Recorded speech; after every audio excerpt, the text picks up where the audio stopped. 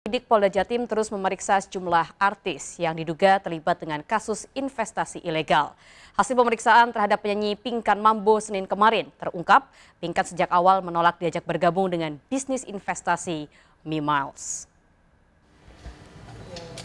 Diperiksa selama 4 jam oleh penyidik Polda Jatim, penyanyi Pinkan Mambo membantah jika dirinya adalah anggota bisnis investasi Miles. Pinkan mengatakan dirinya diundang sebagai pengisi acara pada acara Miles Desember tahun 2019. Sejak awal, ia telah menolak diajak bergabung untuk menjadi anggota Miles. Saya tidak terlibat, uh, hanya dipanggil sebagai saksi untuk uh, yang uh, acara ini. Jadi saya datang tidak untuk mempromosikan produk tersebut, melainkan saya cuma nyanyi sebagai jasa uh, pengisi acara, nyanyi doang. Enggak. Kapan itu? Enggak, saya nggak mau, maksudnya nggak jelas gitu kan. Jadi kita harus uh, pintar dalam memilih bisnis gitu. Saya ditawarin juga nggak mau.